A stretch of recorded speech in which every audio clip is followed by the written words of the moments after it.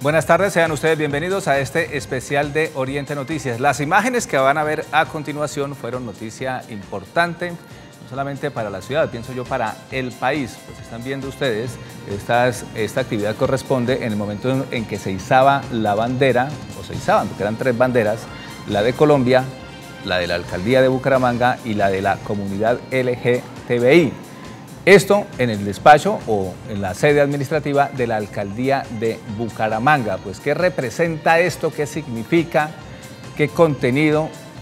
¿Significa, pues, digamos, un trabajo permanente que se viene adelantando desde la alcaldía o qué más? Qué quiere decir, pues digamos, estas imágenes. Este va a ser uno de nuestros temas de análisis hoy aquí en este especial de Oriente Noticias, pero también desde lo complejo y desde lo amplio, pues también fue noticia importante esta semana un debate que se registró en la Asamblea de Santander precisamente sobre los manuales de convivencia y también, en este caso, que con la participación de la comunidad LGTBI. Pero también hay un referendo que se está impulsando a nivel nacional, un, un referendo constitucional y quiere o se quiere anexar eh, un artículo o un parágrafo más bien, reitero, un parágrafo al artículo 42 de la Constitución Nacional que tiene que ver con el tema de familia. ¿Por qué se quiere hacer estos cambios? Pues precisamente esto va a ser, reitero, nuestro tema de reflexión. Les damos nuevamente la bienvenida y para estos análisis nos acompañan aquí el señor Efraín Torres Plaza. Él es el promotor del referendo constitucional sobre la familia y Diego Ruiz, representante también, vocero de la comunidad LGTBI. Vamos a dialogar sobre estos temas. Les damos la bienvenida, señor Efraín. ¿Por qué quiere usted eh, eh, y su organización o las personas con las cuales ustedes trabajan, pues hacer este cambio en la Constitución Nacional, es decir, eh, complementar, anexar un, un, un, punto adicional, pues, en lo que tiene que ver la familia y exactamente, pues, digamos, del artículo 42, porque al leerlo pareciera que ya estuviese pues todo completo y claro para todos los ciudadanos. Buenas tardes. Gracias Sabino, buenas tardes.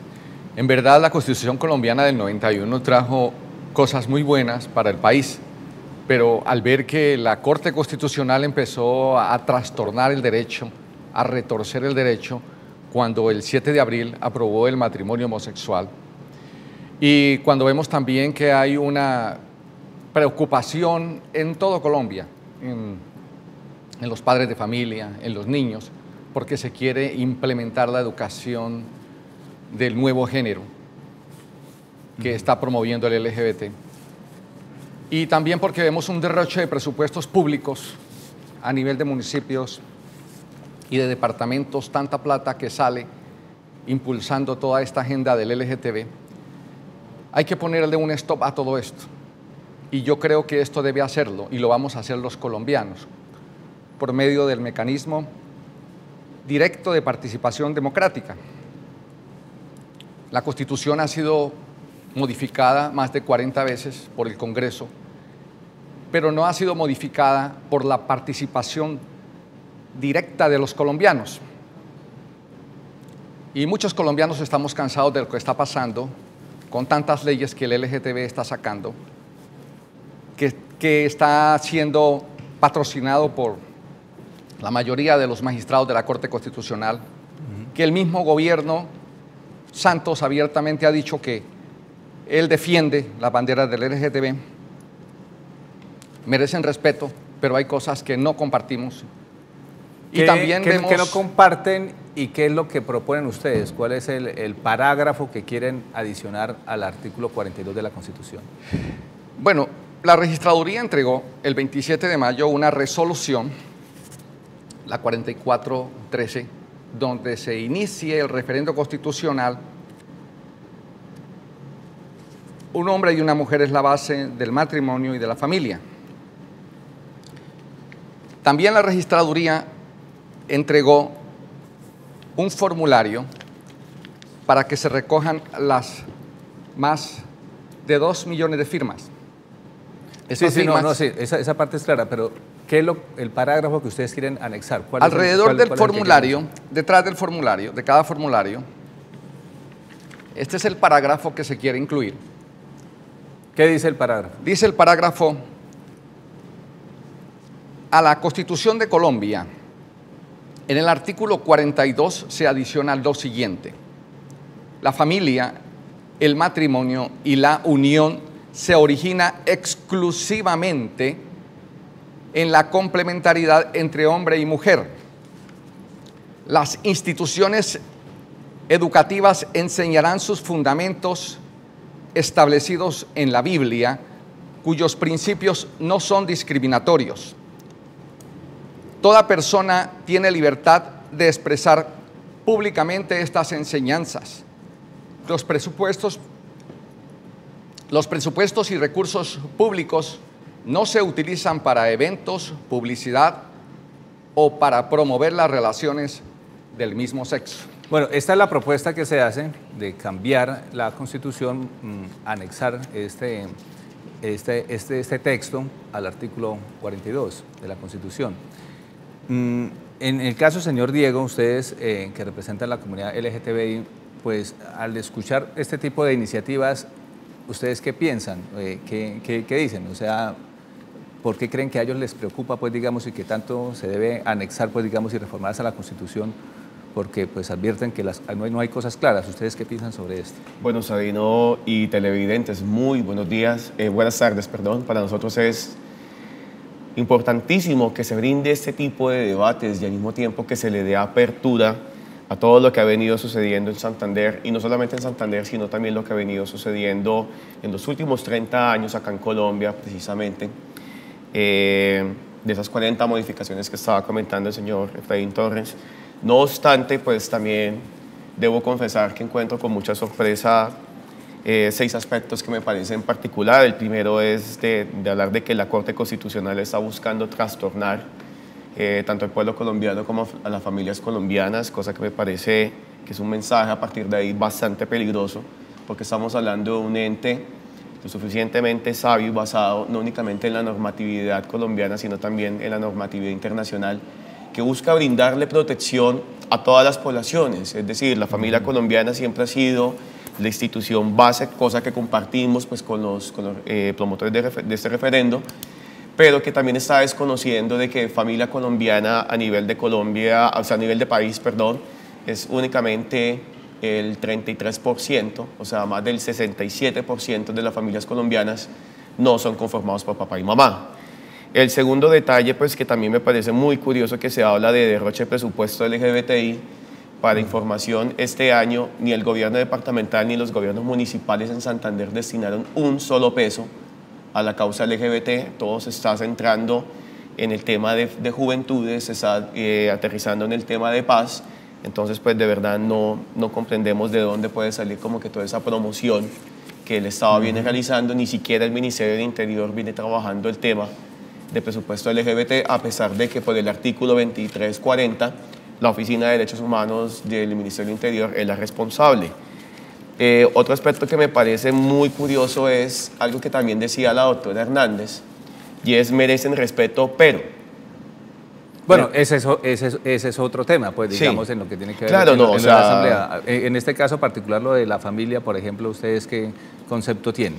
No, lo de la familia a nosotros nos parece algo muy curioso porque eh, este referendo que busca proteger a la familia colombiana, de verdad que me parece una idea brillantísima y me parece hermoso, siempre y cuando estemos hablando de que la familia colombiana también sea reconocida, no solamente las parejas homosexuales, sino también las, eh, las familias que son conformadas por abuelos y nietos, por tías y sobrinos, por primos y primas, porque esos también son familias y hacen parte de una realidad que no podemos seguir ocultando que están acá en el país.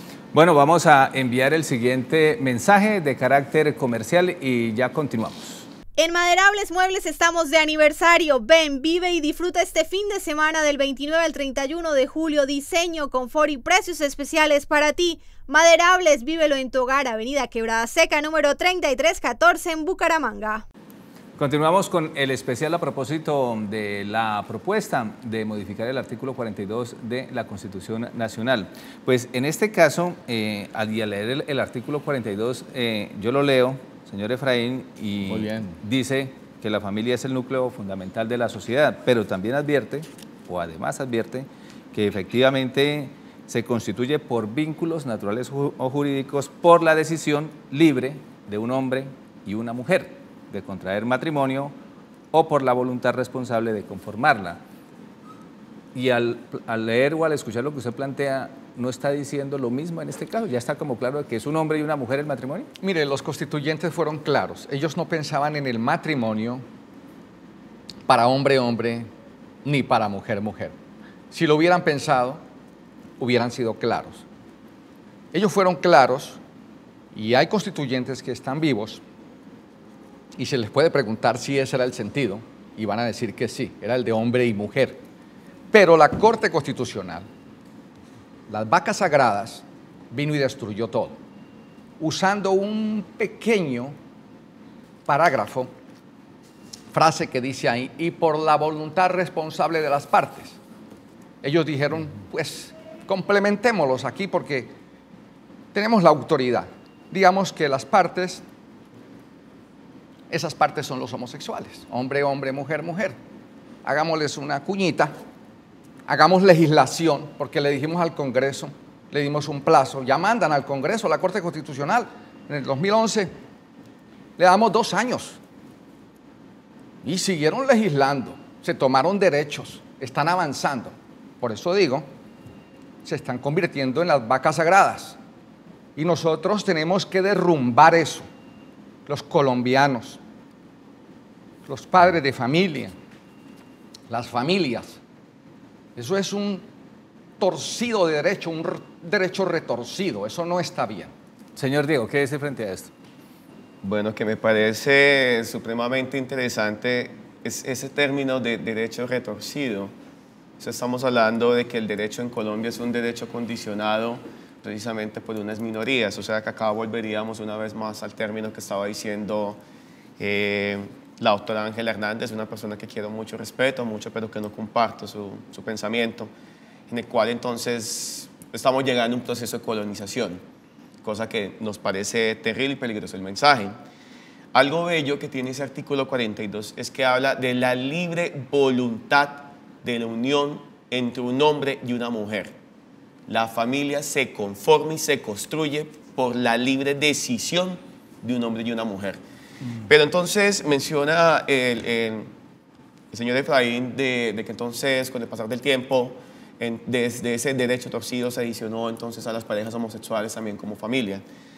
Yo pienso que acá hay una malinterpretación tanto de lo que es, de lo que es en sí una familia homoparental, y vuelvo e insisto sobre esa realidad de las familias que vemos acá en Colombia, como también hay una, hay una maquiavélica interpretación en, esa frase que mucha gente utiliza de, de, hay que proteger a los niños, es que los homosexuales no pueden ser familias, que los homosexuales no se pueden reproducir, que me parece que sería como, como necesario hacer claridad.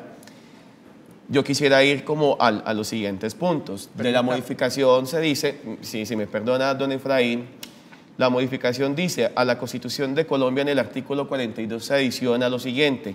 La familia, el matrimonio y la unión se origina exclusivamente la complementariedad entre hombre y mujer.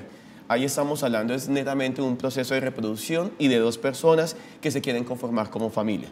Porque hay parejas heterosexuales que no desean tener hijos, de la misma manera que hay parejas homosexuales que no desean el matrimonio.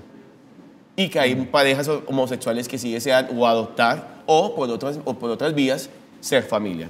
Pero hay algo muy interesante que es aquí donde verdaderamente como que se rompe completamente el molde de lo que le habríamos de democracia, de igualdad, de equidad, de inclusión. Es cuando se dice que las instituciones educativas enseñarán sus fundamentos establecidos en la Biblia, cuyos principios no son discriminatorios.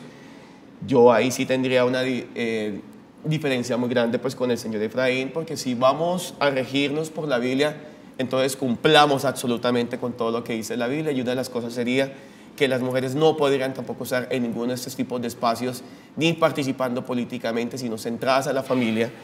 Para toda, eh, y sigue el texto, para toda persona tiene libertad de expresar públicamente esas enseñanzas. Si eso también fuese así, entonces el hashtag que está saliendo en Twitter de matar homosexuales no es pecado, pues también hay que cumplirlo porque ese es uno de los objetivos que también está buscando ese tipo de transformación.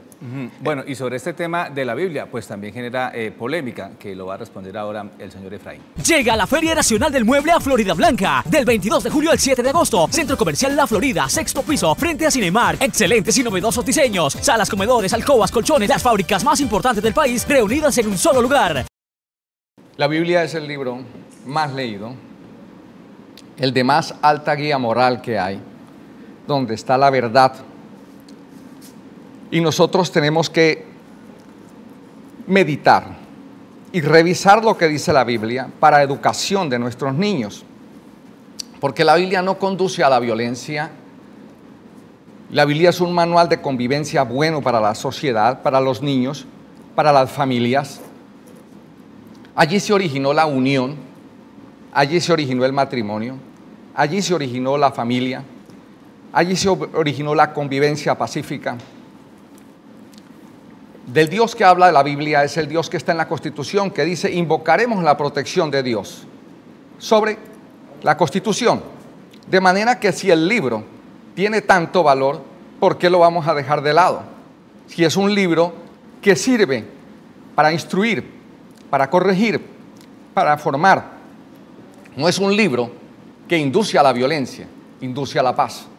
No hay que tenerle temor a que la Biblia sea una parte importante de un manual de formación en las instituciones educativas. Sobre la Biblia usted tenía un comentario. Bueno, yo sobre la Biblia tengo, pues no, no tengo varios comentarios. El primero es eh, como hacer una aclaración, dos cosas. Don Efraín, con el mayor de los respetos, usted puede encontrar el texto de la Biblia como la verdad única que pueda existir para todos los colombianos, pero entonces esto estaría saltando el, el, parámetro que también establece la misma constitución del respeto a las otras ideologías que no van ni con esta cristiandad evangélica, ni con esta cristiandad católica, ni con estos otros tipos de cristiandad que eh, a través de este artículo y esta modificación buscan aplastar literalmente a todas estas otras poblaciones que no consideran a la Biblia como su, su texto guía. Un ejemplo, dos ejemplos pues, puntuales de, lo que viene sucediendo eh, con el texto de la Biblia, precisamente de todas esas interpretaciones que se les da a la Biblia, pues también entonces deberíamos tener presente, y es lo que nos preocupa, lo que precisamente en otros lugares del, mundo hace, por lo menos el Estado Islámico, haciendo valer la palabra sagrada, lanzan homosexuales de la torre más alta, porque eso es algo que se debe cumplir. Entonces, esto también se prestaría para una interpretación de mayorías y minorías y que yo puedo cometer un acto de violencia a nombre del divino porque es que lo que ustedes están haciendo es precisamente un pecado y hay que limpiar y purificar a las sociedades. El otro espacio que también dice de que hay que meditar y revisar lo que dice el mismo texto sagrado hacia la educación de los niños, lo que nosotros invitaríamos a los televidentes es hacer la reflexión de que este tipo de artículos verdaderamente lo que está buscando es imponer un amor que es condicional, es decir, en este caso, si no se está aplicando por medio de la, libra, de, perdón, de la, Biblia, entonces no se estaría aplicando de ninguna otra forma. Bueno, eh, son los eh, mensajes también, las reflexiones que se hacen sobre este tema, cómo respetar al otro, cómo entender al otro. Pues obviamente cada quien tiene su punto de vista. Este mensaje comercial.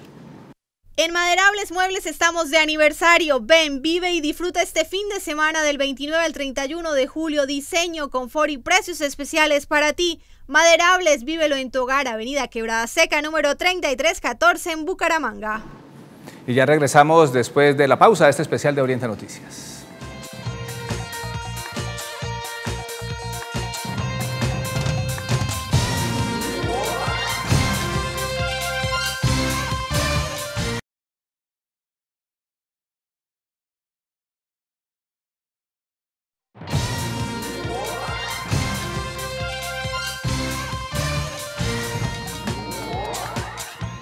Continuamos en este especial de Oriente Noticias. Les habíamos dicho inicialmente pues la izada de las banderas en la alcaldía de Bucaramanga, en las cuales se encuentra la bandera de la comunidad LGTBI. ¿Por qué se hizo? ¿Qué significa? Responde Manolo Azuero, a quien le damos la bienvenida a este espacio, asesor de la alcaldía de Bucaramanga. Sabino, buenos días a usted y a toda la audiencia del canal regional. Mire, estábamos dando un mensaje estructural, fundamental, de fondo a la sociedad civil y a la clase dirigente de Bucaramanga, de Santander y del país. El gobierno de los ciudadanos respalda de manera decisiva, decidida todas las iniciativas de las instituciones de Colombia para respaldar, para promover el respeto por la diversidad en términos de orientación sexual y de género. No se puede hablar de colonización homosexual, se tiene que hablar es de consolidación de la democracia. Este es el carácter del gobierno de los ciudadanos. Vamos a trabajar siempre, hasta el último día, por promover el respeto por la diferencia. Las diferencias nos hacen lo que somos, nos hacen más iguales, nos hacen seres humanos. Y estos principios que estamos expresando acá no son otros que los principios humanistas del gobierno, la lógica, la ética y la estética. Bueno, empiezo en esta ocasión al contrario. Diego, ¿qué significó también para ustedes esta izada de bandera allá en la alcaldía? Para nosotros, o sea, pues prácticamente ya Manolo lo dijo todo, voy a intentar como, como adicionar un poco más. Para nosotros representa eso, la diversidad. Esta bandera representa exclusivamente la diversidad. Nosotros no podríamos hablar de una construcción de sociedad de una forma homogénica, basada únicamente en una creencia o en una sola cultura o en una sola visión de lo que, de lo que se refiere a la protección de la familia y al mismo tiempo de la protección de los hijos. Al parecer, yo creo que a muchos se les olvidan de que muchas de las personas que, que venimos de esa población, o sea, que venimos, o sea, que pertenecemos a esa población LGBT, disculpen, venimos de, pareja, de familias heterosexuales, de familias heterosexuales. Y es una realidad que entonces, con el debate que estamos realizando en el día de hoy, lo que se está buscando no es únicamente la modificación de un artículo, se está buscando es completamente sesgar y borrar lo que la misma Constitución del 91 desde el inicio dice. Todos nacimos libres e iguales. Hay que respetar a cada persona independiente de su creencia, sexo, orientación sexual, situación económica. O sea, eso es lo que está buscando de una u otra manera es quitar de raíz algo que verdaderamente nos ha construido como democracia colombiana. Señor Efraín. Déjeme ser claro, que son una parte de la población que levanta la bandera del LGTB, pero hay una gran parte de la población que levantamos la bandera de la familia, del matrimonio, de la unión entre hombre y mujer, de la bandera que no queremos que se enseñen a los niños y a los jóvenes que hay un tercero, un cuarto, un quinto género. Por eso es importante que los fundamentos de la Biblia sobre familia, matrimonio y unión se enseñen en las instituciones educativas, porque género, sexo, es el masculino niño y femenino mujer, hombre o mujer, no un tercero, cuarto, quinto género. Ese, ese, esos nuevos géneros es un total desorden. Por eso queremos que cada padre de familia, en cada casa, recojamos firmas. Ahí tenemos el website referendo hombreymujer.com para descargar el formulario y vayamos a la Constitución a ordenar nuestro país, porque esto es un desorden que inclusive... Diego, Iba, iba a comentar algo, breve. Pues, y de lo que quería comentar así breve, ahí, aquí también estoy encontrando pues en la posición eh, de don Efraín, pues tristemente dos cosas que a nosotros nos preocupan de forma, de, o sea, de forma gravísima y es que esta modificación lo que está buscando es decir que si no es por medio de la palabra de Dios, si no es por medio de la palabra, de esta educación, de la forma correcta como ellos ven que se ha constituido el mundo, no va a existir ningún tipo de paz y a partir de ahí como que no va a existir un espacio de negociación para que se puedan incluir las otras familias. Y lo segundo que yo quería adicionar era que también hay un desconocimiento porque si existen más de dos géneros, existe el masculino y el, femenino y también existen los intersexuales, que es una condición misma de la naturaleza donde una persona puede nacer los dos sexos. Y a partir de ahí también se está diciendo que entonces el hecho de que una persona, un hombre por tener pene o una mujer por nacer con vagina, se supone que la construcción es como una persona heterosexual y no. Uno se constituye, uno se conforma como un ser humano independiente que influye en la familia. Es que ojalá la familia verdaderamente, la familia colombiana, educara de forma correcta, pero también respetase que si un niño considera de que no, no se siente como una persona heterosexual, pues también lo podamos apoyar. Y esa iniciativa nos quita completamente esto. Vamos a escuchar este mensaje comercial y ya, ya continuamos con esta información. Aprovecha en julio. La rebaja Droguerías y Minimarques te brinda hasta un 20% de descuento en productos para el cuidado de tu piel en referencias seleccionadas. La rebaja más para todos. Estos debates también dieron lugar esta semana en la Asamblea de Santander y el tema particular el de la convivencia en los colegios, los manuales de convivencia. Pues eh, la preocupación, el debate eh, lo planteó la diputada Ángela Hernández del Partido de la U. La pregunta era, ¿qué les preocupa del manual de convivencia? Esto manifestó. La ley 1620 es una ley buena, trajo cosas muy importantes como el tema del matoneo, del bullying, del ciberacoso escolar y creó la, ruta de atención integral para los casos en los que los muchachos están siendo víctimas de esta situación. ¿Qué es lo que nos preocupa? Que el artículo 20, o de dónde es que se está cogiendo el ministerio, el artículo 20 es un artículo muy amplio, habla de la construcción sexual, del placer, del beneficio, del deseo, de la libertad. Entonces, basado en estas palabras, el ministerio ha creado un proyecto transversal que es a través del cual eh, mandó unas preguntas orientadoras a los colegios donde dice que ya los uniformes no van a corresponder a ningún sexo. El niño que se sienta niña se puede colocar uniforme de mujer y la niña que se sienta niño se puede colocar uniforme de hombre. Los baños también ya no van a ser de un sexo definido. La niña que se sienta hombre bien puede ir al baño de los niños y viceversa. Todo esto fundado en la cátedra de ideología ¿Qué, es lo que dice la ideología de género? Lo que dice la ideología de género es que el hombre no es hombre en razón de haber nacido con un pene, con un genital físico y que la mujer no es mujer por haber nacido con una vagina. Ellos dicen que la sexualidad se va descubriendo en el camino y que la persona debe explorar para saber cuál sexo debe tener. Nosotros respetamos esa postura, pero quienes sí tenemos claro que somos hombre y mujer en razón a nuestro sexo, entonces debemos permitir que a nuestros hijos los eduquen y los formen con este pensamiento. Ahí es donde empieza la disputa y ahí es donde vemos que por parte del ministerio hay una inclinación muy sesgada a favor de imponer todas estas ideas y costumbres en las instituciones educativas. Y precisamente sobre este tema, el asesor de la alcaldía de Bucaramanga, Manolo Cero, pues le, preguntamos también, eh, instalan la bandera de la comunidad LGTBI en momentos en que al frente, en la, en la asamblea que queda en la sede de la gobernación, se daba este debate. ¿Qué quiere decir pues al respecto? Más que buscar el apoyo de la comunidad, es respaldar al Ministerio de Educación y a todas las instituciones del país que busquen promover, cultivar el respeto por la diversidad.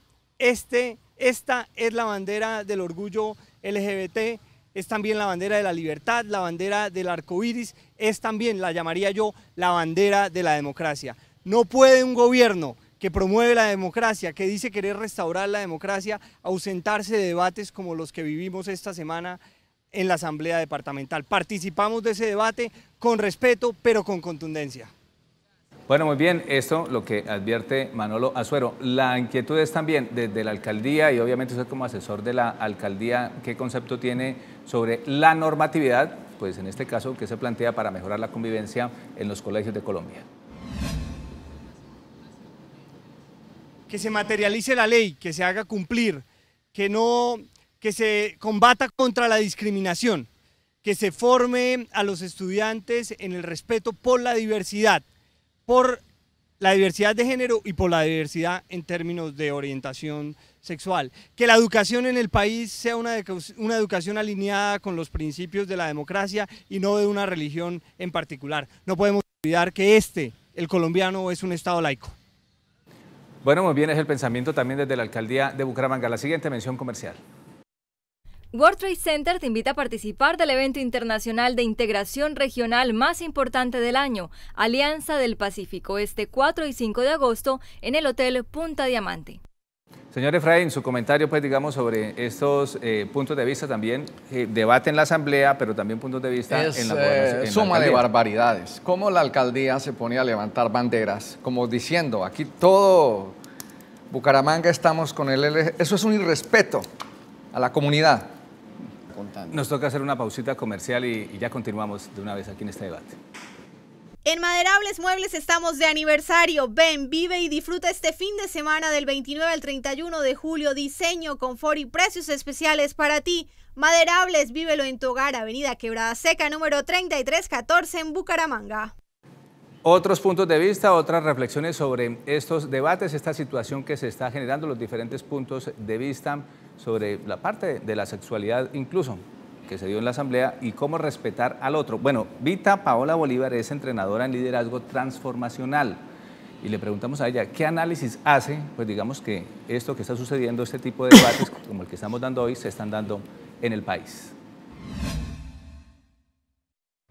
Bueno, lo que pensaría que está sucediendo en este momento eh, en nuestro país con, esta controversia eh, me lleva a recordar los procesos que a nivel mundial como humanidad hemos vivido con respecto a minorías. Es decir, mm, normalmente cuando una minoría empieza a, levantar la mano, a decir, eh, mira, yo existo, tengo derechos, yo también soy igual a ti, cuando empiezan a suceder esas cosas, lo primero que aparece es el miedo. Un ejemplo mm, fundamental de ello puede ser, por ejemplo, todo el proceso que se vivió a nivel mundial con respecto a las negritudes, en ese tiempo, por allá en, esos, en esos años, las personas pensaban y creían, por ejemplo, que las personas negras no tenían alma, que era eh, llevar una persona negra a un aula de clase era tanto como llevar al demonio al, colegio y que estaría en tela de juicio la formación de sus hijos. Em, Incluso toda esta situación genera, eh, da elementos para guerra civil, por ejemplo, en Estados Unidos. Y hoy en día, después de tantos años, más de un siglo de, toda esta lucha, vemos que es una persona negra la que está dirigiendo uno de los países más importantes del mundo. Eso es una enseñanza porque en ese tiempo las personas que vivían y tenían esas creencias realmente consideraban un error, una catástrofe, se angustiaban y tenían mucho miedo de lo que podía pasar porque no entendían al otro. Y este es el caso particular de negritudes. Hablando con ella, pues ella también comentaba en el caso de las mujeres. Es igual, para darle reconocimiento a las mujeres fue todo un proceso, toda una evolución en Colombia. Igual, dice ella, pasa con la comunidad LGTBI, pues en este caso este breve mensaje comercial. En Maderables Muebles estamos de aniversario. Ven, vive y disfruta este fin de semana del 29 al 31 de julio. Diseño, confort y precios especiales para ti. Maderables, vívelo en tu hogar. Avenida Quebrada Seca, número 3314 en Bucaramanga. Señor Efraín, cuéntenos. Mire, yo sé que Bucaramanga es un pueblo de empuje. Tenemos al concejal, gracias a Dios, Jaime Beltrán, que va a estar promoviendo este referendo. Estamos en contacto con diputados, con concejales de Santander, con la jerarquía católica, con iglesias cristianas, con padres de familia, para que hagamos un gran firmatón, para que Santander diga, aquí estamos, necesitamos ponerle un orden a la Constitución y vayamos abundantemente con estas firmas trayendo una constitución que ordene este desorden. ¿Por qué? Tenemos a nuestro adversario que es el gobierno, que está empujando todo lo que es legislación del LGTB. Colombia Diversa es una institución apoyada financieramente por fondos canadienses, americanos, españoles, europeos, y toda esa loca ideología de allá la traen para acá. Somos el reciclaje. Pero ¿por qué decir loca? ¿Por qué loca idea? ¿Eso no es desconocer al otro? No, no es desconocer. ¿No es irrespetar al otro? estamos hablando de respetar. Con Diego tenemos una muy buena amistad. Ahora, yo lo respeto, él me respeta. Pero no es el lenguaje, yo escucho el lenguaje... Es un lenguaje que causa un poco de molestia. Porque un padre de familia que le entregue los hijos para que lo eduque el LGTB y la Colombia diversa. Hágame el favor. ¿Quién está tranquilo? El padre tiene el derecho a intervenir en esa educación, lo dice la ley 1620, artículo 3, que es responsabilidad de esta ley de los padres de familia, de las instituciones educativas, de los rectores, del cuerpo de profesores, de las familias y de los individuos, de manera que no es una potestad de la ministra, no. Tiene que haber una corresponsabilidad y lo dice el artículo 3. Correcto, Diego. Para rectificarle a don Efraín, claro, o sea, estamos haciendo un debate muy interesante, muy nutrido, bajo, bajo el respeto, cosa que me parece que es la base de la democracia. O sea, en este instante estamos demostrando de que los LGBT es contrario a lo que dijo la doctora Hernández, eh, de que todos somos unos patanes, que todos somos unos gamines. Acá está hablando con un LGBT que está escuchando a un Efraín, que está verdaderamente atemorizado con, con, respecto a muchas ideologías que está diciendo, que está brindando y que de una u otra forma nos está replicando lo que dice la, la doctora, la doctora Hernández. Entonces, por lo menos lo, lo, lo, que usted dice, esa loca ideología, o sea, ¿de qué estamos hablando con esa loca ideología? O sea, de verdad que ya a este momento me estoy cuestionando si, si a don Efraín para él es difícil en este instante estar al lado de un hombre que se, que se denomina homosexual. Y el otro detalle es que nosotros tenemos el, problema radica en, las preguntas orientadoras para la revisión y ajuste de los manuales de convivencia, por lo menos en el debate de Ángel Hernández, pero hay que corregir, es que no es Colombia diversa la que está en es, únicamente en ese documento. Acá está el UNFPA, está la UNICEF, está también el PNUD, están las organizaciones que lo único que están buscando con respecto a la población de niños con, eh, con diversas orientaciones sexuales, LGBTI, en ese manual de convivencia. Esas, pe, pe, pe, sí, yo te, yo te permito un poco de de eso. organizaciones apoyan Eh, el, la pero, diversa. Sí, pero, pero me permito un momento, don Efraín, pero es que el asunto de lo que está pasando con la familia colombiana no, es no, debería centrarse únicamente en el tema LGBT, sino también en ver lo que pasa con la Mira. violencia de género, con el embarazo en adolescente, con los usos de psicoactivos, que es también Mira. lo que busca brindar protección a esta Diego, ley. permítame. Yo creo que lo que la diputada Ángela hizo 100% correcto. Es terrible lo que hizo Benedetti. Es un partido que dice, no nos interesa Colombia, investiguémoslas a ella. No. Sí, para, para hacer, dar contexto, lo que se refiere al señor Efraín que hizo Benedetti fue eh, en calidad de directivo de la- del partido de la U, abrirle una investigación disciplinaria, pues digamos, ante estas declaraciones. Vamos a hacer una pausa, ya regresamos aquí en este debate, pues sobre los cambios, en este caso de carácter social, la comunidad LGTBI. Ya regresamos.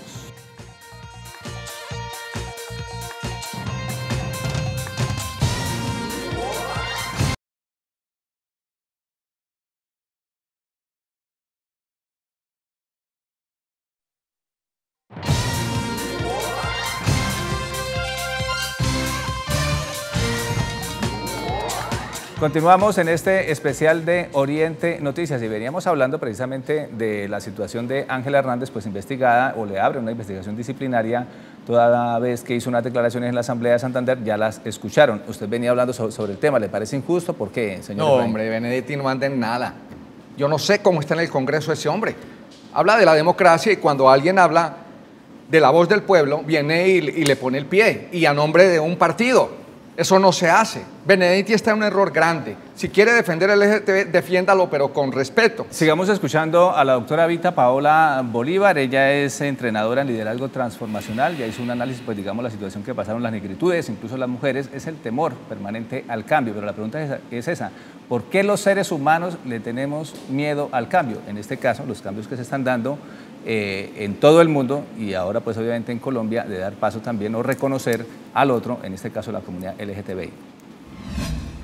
Los seres humanos normalmente tenemos miedo al cambio porque hemos entrado en un tema de buscar la estabilidad. Asumimos que el ser estables, es decir, el mantener siempre las cosas como están, es la mejor forma de mantenernos seguros, de generar confianza, de lograr lo que se quiere.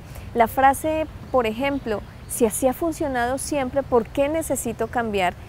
Y otras tantas nos llevan casi siempre a creer que necesitamos mantenernos iguales.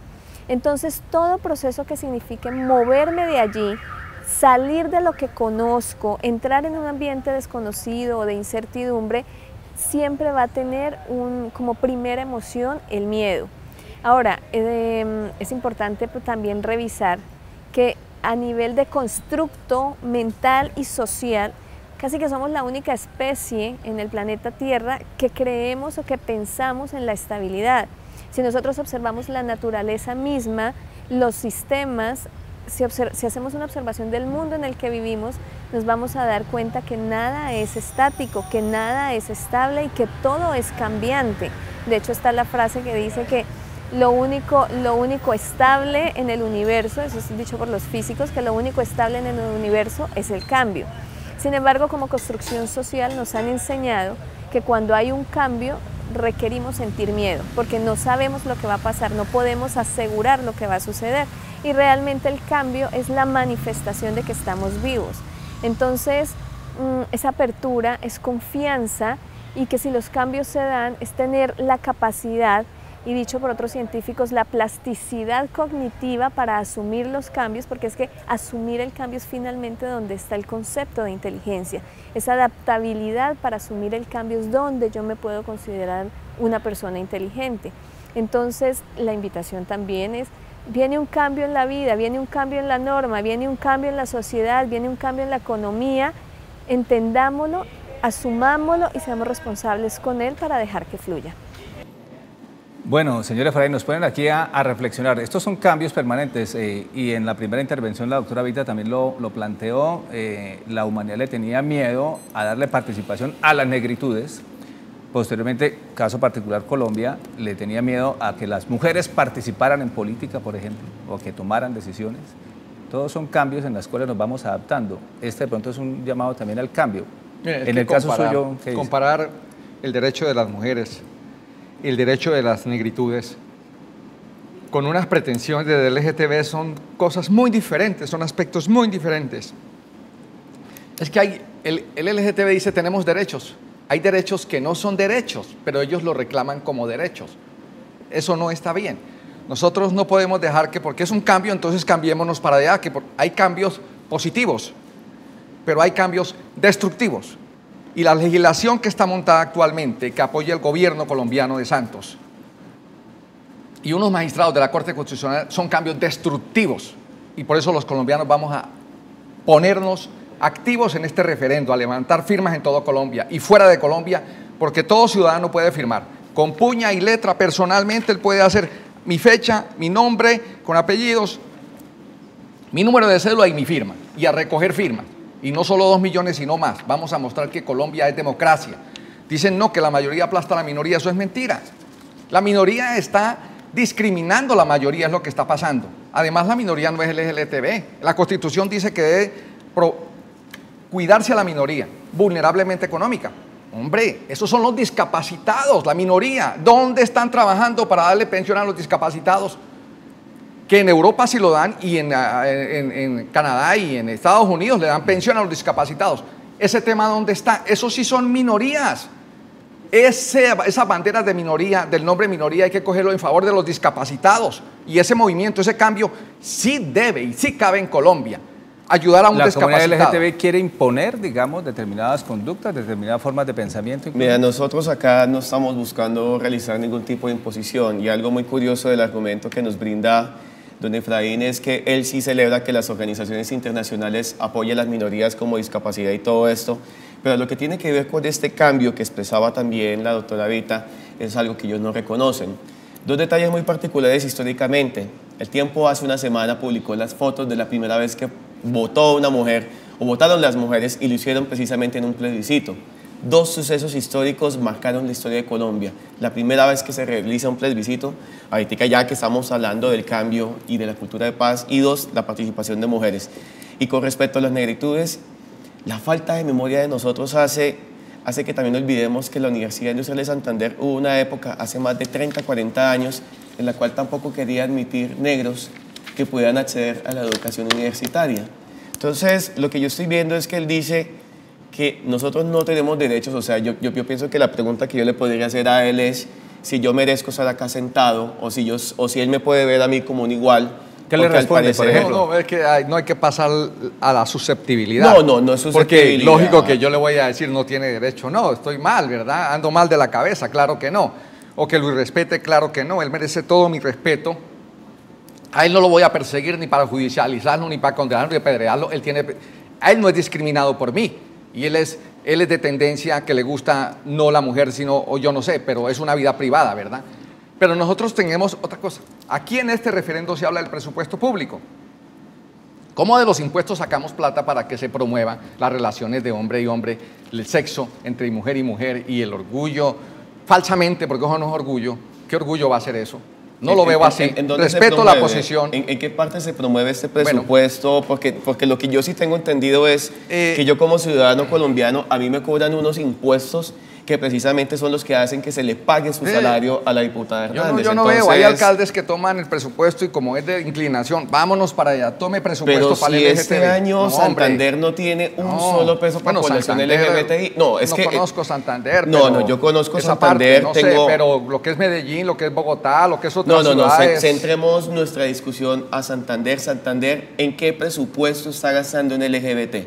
Porque si su merced me tiene en ese instante un dato certero... Lo que lo que se hace en Santander debe hacerse en Colombia, que el presupuesto público no se use para eventos, ni publicidad, ni para promover relaciones pero del mismo ¿de cuál presupuesto estamos hablando? ¿De dónde está saliendo el departamental, el municipal, el nacional? Ah, no se debe usar para eso. Entonces, estamos hablando que, que, entonces deberíamos nosotros como LGBT al mismo tiempo, y es que es ahí donde se va la disparidad, la iglesia cristiana, la iglesia evangélica, basado precisamente en, el diezmo y muchas cosas, tiene la capacidad política, económica para hacer algo que él está haciendo y es imponer una mayoría sobre una minoría. Gústenos o no, así es la interpretación que se está dando. Pero en este caso, decir, con el, con el respeto, eh, don Efraín, de que se está sacando un presupuesto, se puede hablar con el secretario de Desarrollo Departamental, se puede hablar con el secretario del Interior Departamental, se pueden hablar con las oficinas, con los alcaldes a nivel de Santander y van a encontrar de que todos esos proyectos que había de protección a poblaciones, por lo menos LGBT, no se ha destinado un solo peso. Acá lo que se está haciendo, por lo menos este tipo de referendo que le está proponiendo, claro, es que si tenemos una estructura económica como la que tiene la Iglesia Evangélica para sacar todo esto contra un grupo que ser minoritario no tiene de dónde sacarlo, pues yo pienso que ahí estaríamos hablando de un suceso excesivamente impar y estaríamos diciendo a la LGTB son gustos. Vamos. Las inclinaciones son, gustos son personales, son gustos. ¿Por qué tenemos que coger el presupuesto para promover gustos personales? No, es para el bienestar general, nacional. Señor Efraín, muchas gracias por su participación en este espacio, muy amable. Diego, muchas gracias. Muy amable. verdad que sí. Pues la idea de este programa pues era generar, digamos, en este caso, la reflexión y llamar a la reflexión. ¿En qué sentido? Analicen ustedes, ¿cuántas veces usted ha excluido a alguna otra persona por cualquier motivo? Reflexionen, ¿y qué sentiría usted si lo excluyen? ¿Quién quiere imponer a quién? ¿Quién impone a quién? ¿Quién tiene la verdad y quién tiene la última palabra? Pues bueno, esos son los procesos para reflexionar. Nos veremos pues, en una próxima emisión, pues, pero quedan ustedes con la información deportiva.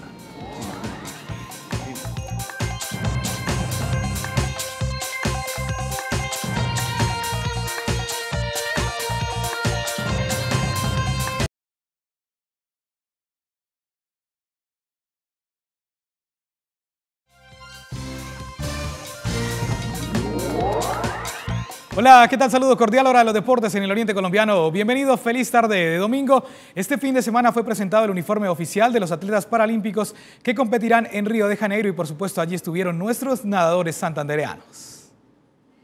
Una faceta inusual vivieron quienes tienen por meta dejar el nombre de Colombia en lo más alto del podio paralímpico. En esta ocasión, dejaron a un lado las competencias y subieron a la pasarela para desfilar con el traje que portarán en Río de Janeiro.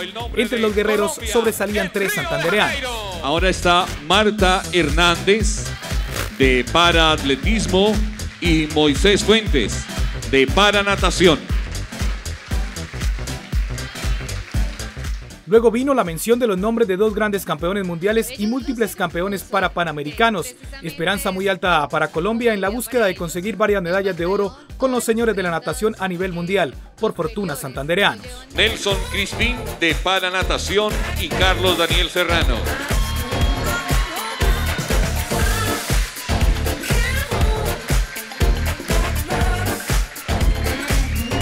Sumado a estos nombres y también hijos de la tierra del cañón del Chicamocha, el nadador Óscar Osorio y el bicampeón mundial en el ciclismo paralímpico Álvaro Galvi Becerra estarán en esta competencia, donde Colombia estará representada por 37 guerreros.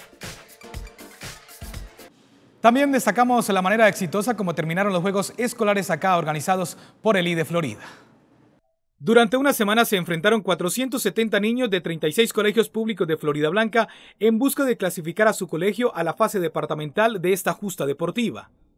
Bueno, los juegos básicamente interescolares se quieren realizar para dar participación a las edades más pequeñas de los chicos de Florida Blanca y para promover e incentivar el deporte de las edades más tempranas. Acompañamiento de IDE Florida y bajo los lineamientos de Coldeporte Nacional, ocho disciplinas entraron en acción en esta actividad que ayuda a la formación de los menores. Bueno, pues uno, porque eso implica disciplina para ellos. Dos, porque es una situación que ellos viven en comunidad y aprenden a vivir en grupo, a ayudarse y a ser solidarios.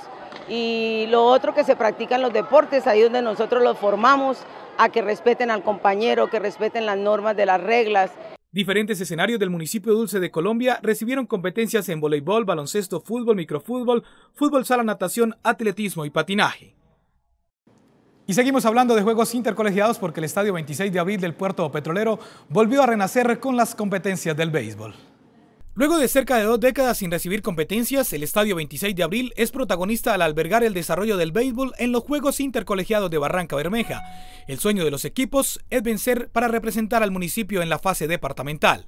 Por primera vez se saca un equipo de béisbol en nuestra institución y estamos pues dando la pelea, estamos adquiriendo experiencia. Hay algunos chicos que integran el equipo que ya vienen de escuela, de formación en la parte de béisbol y lo, queremos, lo que queremos es que en la Comuna 7 tenemos nuestra juventud para la práctica de todas las disciplinas deportivas. Invitación abierta para que los amantes del béisbol disfruten de las competencias. Estamos en el rescate, es una tarea de la liga eh, en compañía del ente deportivo, aprovechando los intercolegiados, aprovechando que el director, el licenciado Cristian Juliado, eh, quiere recuperar este escenario. Darle vida al Estadio 26 de abril y enfocarse en la masificación de esta disciplina en el puerto petrolero, principales objetivos del INDERBA con esta competencia.